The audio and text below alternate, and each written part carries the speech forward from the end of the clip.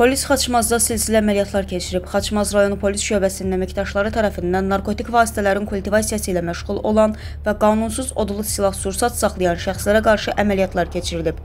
Daxili İşlər Nazirliyinin mətbuat xidmətinin Quba regional qrupundan verilən məlumata görə, əməliyyatlarla rayon sakinləri Faiqi Cəmilov, Fərid İsayev və Emin Vəlibəyov saxlanılıblar.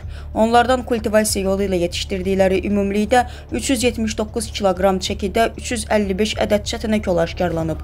Həmçinin keçirilən tədbirlərlə rayon sakini Ravid Ağakişiyev saxlanılıb. Ondan 2 ədəd tapança, 1 ədəd patron darağı və 7 ədəd patron aşkar olunaraq götürülüb. Faktlarla bağlı cinayət işləri başlanılıb. Araşdırmalar davam etdirilir.